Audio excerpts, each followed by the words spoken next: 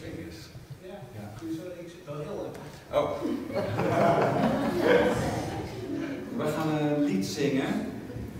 Of tenminste, Cengiz gaat het zingen en ik eh, ga hem begeleiden. Eh, dat eh, wordt gezongen in de Mevlevi-ceremonie.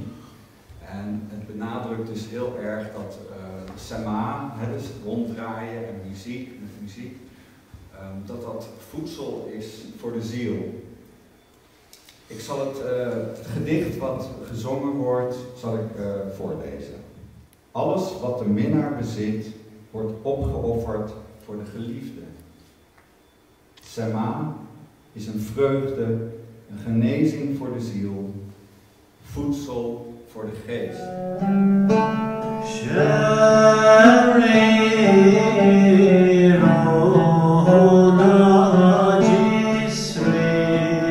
Amen.